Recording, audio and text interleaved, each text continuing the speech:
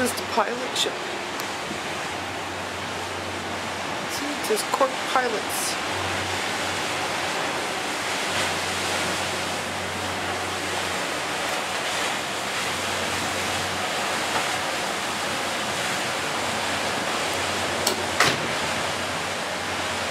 The people on the pilot ship waved. We're uh, about as close on the other side. Yeah.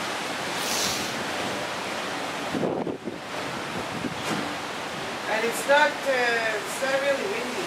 No. But the city city is way out on the other side.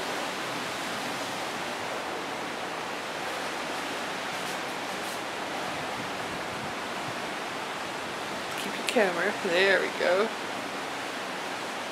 We're in Ireland!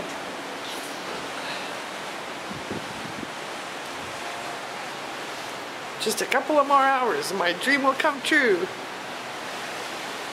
Except gnarly